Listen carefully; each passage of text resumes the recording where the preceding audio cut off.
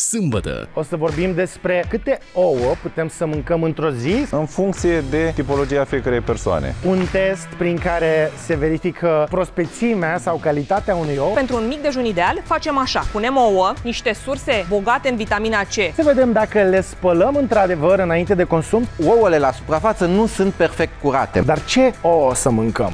Ai mână bună, dar nu m-aș lăsa să știi pe mâna ta. Urmărește Medicul pe Antena 1 și Antena Play.